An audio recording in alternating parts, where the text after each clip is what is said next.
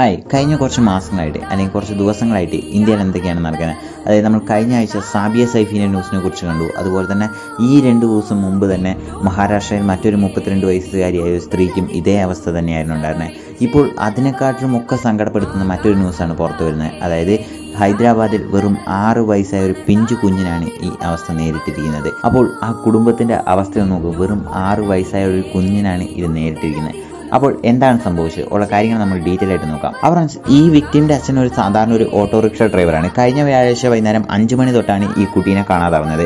കാണാതാവുന്നതിന് ശേഷം വീട്ടുകാരും നാട്ടുകാരും ചേർന്ന് തെരച്ചിൽ തുടങ്ങി. തെരച്ചിൽ തുടങ്ങി കുറേ നേരമായിട്ടും കുട്ടീനെ കുറിച്ച് ഒരു വിവരവും ലഭിക്കാത്തതുകൊണ്ട് തന്നെ അടുത്തുള്ള ഒരു പോലീസ് സ്റ്റേഷനിൽ പോയി കേസ് രജിസ്റ്റർ ചെയ്തു. കേസ് രജിസ്റ്റർ ചെയ്ത് പോലീസും കൂടി ചേർന്ന് അന്വേഷിക്കാൻ തുടങ്ങി. അങ്ങനെ വ്യാഴാഴ്ച വൈകുന്നേരം കാണാതായ കുട്ടീനെ വെള്ളിയാഴ്ച ആയപ്പോൾ സിംഗർണി എന്ന് പറയുന്ന ഒരു കോളനിയിൽ നിന്ന് ഒരു ഐസൊലേറ്റഡ് ആയ ഒരു സ്ഥലത്ത് നിന്ന് ഈ കുട്ടിയുടെ ബോഡി ലഭിക്കുന്നു. ആ ബോഡി കണ്ട പോലീസുകാരും അതുപോലെ തന്നെ നാട്ടുകാരും വീട്ടുകാരും തന്നെ അമ്പരന്ന് പോയി. അതായത് ആ കുട്ടിയുടെ ബോഡി ഒരു സെമി നേക്ഡ് സ്റ്റേജിൽ ഉപേക്ഷിച്ച നിലയിലാണ് അവിടുന്ന് കണ്ടെത്തിയത്.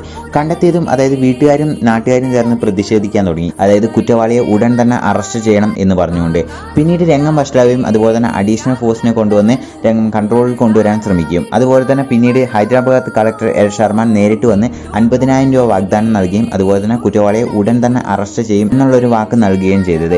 പിന്നീട് പോലീസ് അന്വേഷണത്തിൽ വ്യക്തമായത് അതായത് ഈ കുട്ടിയെ കാണാതായ ആ സമയം തൊട്ട് തന്നെ അടുത്ത വീട്ടിലുള്ള രാജു എന്ന് പറയുന്ന ഒരാളെയും കാണാതായി എന്നുള്ളത്. പിന്നീട് അയാളെ കുറിച്ച് അന്വേഷിക്കുമ്പോഴാണ് അയാളാണ് ഈ കൃത്യം ചെയ്തത്. കൃത്യം ചെയ്തത് മാത്രമല്ല അയാൾ അബ്സ്കൗണ്ടിങ് ആയിരുന്നു ചെയ്തത്.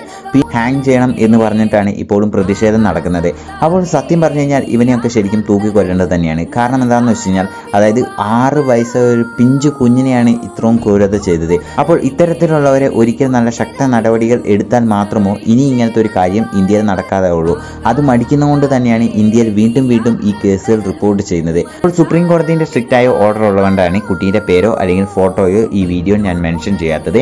അപ്പോൾ അതായത് എയ്റ്റീൻ പ്ലസ് താഴെയുള്ള കണ്ടന്റുകൾ ഒന്നും തന്നെ ഇത്തരത്തിലുള്ള കണ്ടന്റുകളിൽ പേരോ അതുപോലെ തന്നെ അഡ്രസ്സോ മെൻഷൻ ചെയ്യാൻ പാടില്ല എന്ന് സുപ്രീം കോടതിന്റെ സ്ട്രിക്റ്റായ റൂളുണ്ട് അതുപോലെ തന്നെ ചൈൽഡ് പ്രോണോഗ്രാഫിയും ഇന്ത്യയിൽ ബാൻ ചെയ്തതാണ്. അപ്പോൾ നിങ്ങൾ ആരെയും ചൈൽഡ് പ്രോണോഗ്രാഫി എന്നൊക്കെ സെർച്ച് ചെയ്യുന്നുണ്ടെങ്കിൽ അത് നിർത്തണം. അല്ലെങ്കിൽ നിങ്ങൾക്കെതിരെയും കേസ് ലഭിക്കും. ഇതിനെക്കുറിച്ച് നമ്മൾ ഓൾറെഡി ഒരു ഡീറ്റെയിൽ വീഡിയോ പോസ്റ്റ് ചെയ്തിട്ടുണ്ടായിരുന്നു. കാണാത്തവർ ലിങ്ക് താഴെ ഡിസ്ക്രിപ്ഷനിൽ കൊടുക്കാം. അപ്പോൾ ഇയാൾക്കെതിരെയൊക്കെ എന്ത് നടപടികൾ എടുക്കണം? നിങ്ങൾക്ക് ഉള്ള അഭിപ്രായങ്ങൾ നിങ്ങൾ താഴെ കമന്റ് ബോക്സിൽ അറിയിക്കുക. See you next video